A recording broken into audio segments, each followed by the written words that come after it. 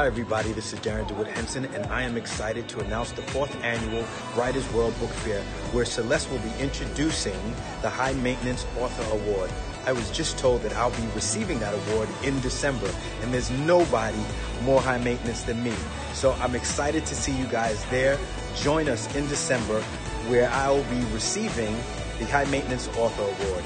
See you soon.